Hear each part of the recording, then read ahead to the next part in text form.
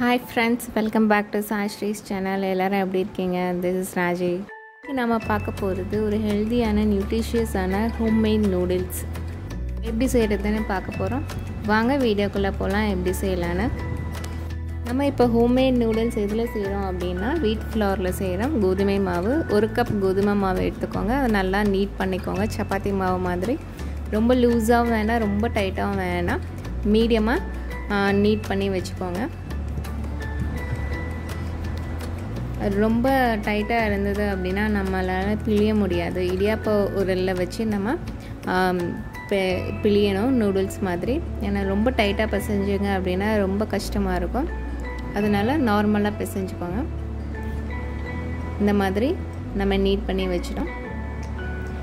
அப்புறமா ஒரு பேன்லேயோ இல்லை ஏதாவது ஒரு சட்டியிலையோ நம்ம வந்து தண்ணியை வந்து பாயில் பண்ண வச்சுடுங்க. இப்போது நம்ம இடியாப்ப உரலில் வச்சு நூடுல் நூடுல்ஸாக பிழிஞ்சு எடுக்க போகிறோம் அந்த இடியாப்ப உரலில் ஆயில் வந்து நல்லா தடவி விட்டுருங்க. அப்புறமா சைஸ் பார்த்திங்க அந்த ஹோலோட சைஸ் பார்த்திங்கன்னா மீடியம் சைஸ் எடுத்திருக்கேன் நான். இதுக்கு சின்னதாக இருக்குது பெருசும் இருக்குது மீடியம் சைஸ் எடுத்தால் தான் நமக்கு அது பாயில் ஆகி வரும்போது நல்லா நூடுல்ஸ் மாதிரி இருக்கும். ஸோ மாவை உள்ளே வந்து வச்சுட்டு நம்ம நூடுல்ஸாக நம்ம பிழிஞ்சு எடுக்க போகிறோம் அந்த பாயிலிங் அந்த வாட்டர் வச்சுருந்தோம் இல்லையா? அது நல்லா பாயிலிங் ஆகும்போது இந்த நூடுல்ஸை வந்து அதில் பிழிஞ்சு ஒரு ஃபைவ் டு சிக்ஸ் மினிட்ஸ் கழித்து நம்ம எடுக்க போகிறோம் ஸோ மாவு வச்சுட்டோம் நம்ம. இப்போ நம்ம அந்த பாயிலிங் வாட்டரில் பிழிய போகிறோம்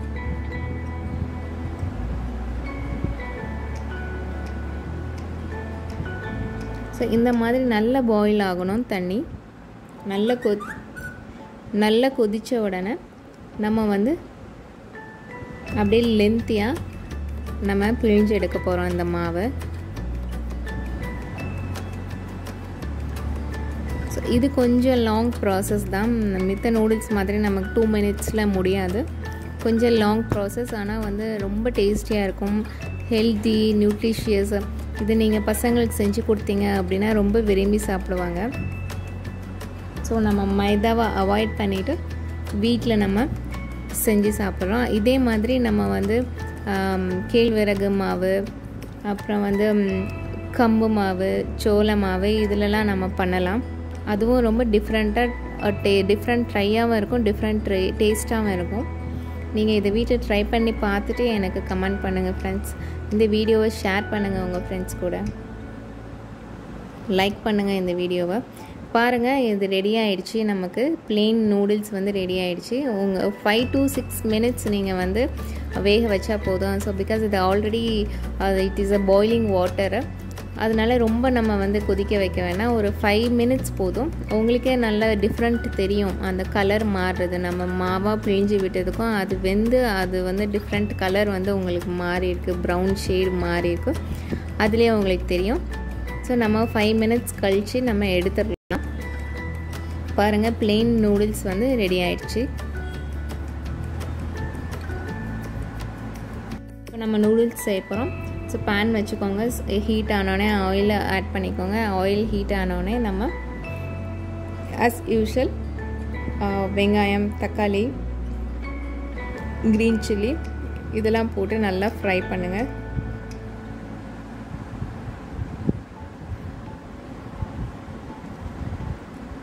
ஸோ நான் ஒரு த்ரீ க்ரீன் சில்லிஸ் ஆட் பண்ணியிருக்கேன் ஒரு பெரிய வெங்காயம் ஒரு தக்காளி. ஸோ நல்லா ஃப்ரை பண்ணிவிடுங்க இப்போ தக்காளி வெங்காயம் நல்லா வதங்கிடுச்சு. இப்போ பொட்டேட்டோஸ் ஆட் பண்ணிக்கோங்க. நான் ரெண்டு சின்னதாக இல்லை பொட்டேட்டோ ஆட் பண்ணியிருக்கேன்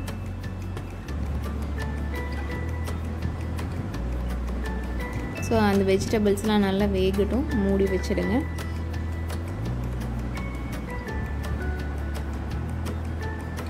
இப்போ ஜிஞ்சர் கார்லிக் பேஸ்ட்டு நம்ம ஆட் பண்ணுறோம் இது ஆப்ஷனல் தான்.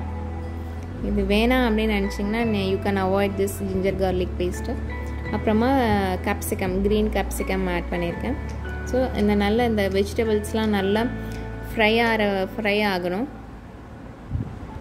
நல்லா சாட் பண்ணிவிடுங்க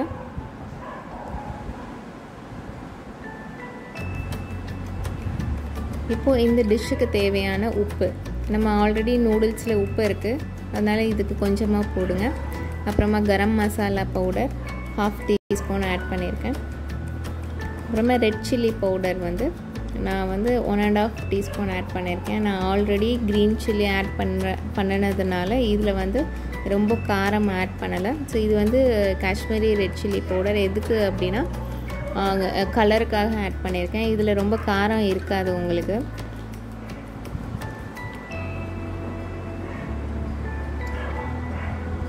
அப்புறமா மஞ்சத்தூள் ஆட் பண்ணிக்கோங்க ஹாஃப் டீஸ்பூன் ஸோ அதோட கொஞ்சமாக தண்ணி ஆட் பண்ணிவிட்டு அந்த பவுடர்ஸோட ப பச்சை வாசனை போகிற வரைக்கும் நம்ம வந்து மூடி வச்சிடலாம்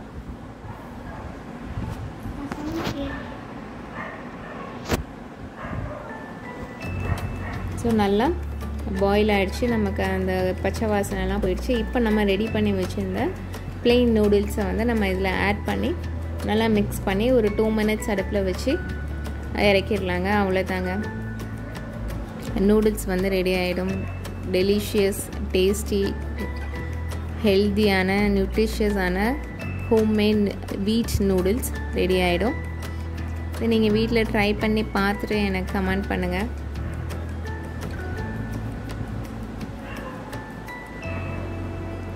என்னோடய சேனலை சப்ஸ்கிரைப் பண்ணுங்கள் ஃப்ரெண்ட்ஸ் உங்கள் ஃப்ரெண்ட்ஸுக்கும் என்னோடய சேனலை ஷேர் பண்ணி விடுங்க.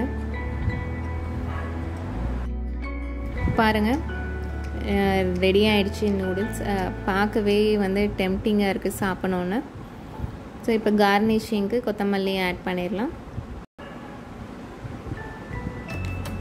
ஸோ டெலிஷியஸான வீட் நூ ஹோம்மேட் நூடுல்ஸ் இஸ் ரெடி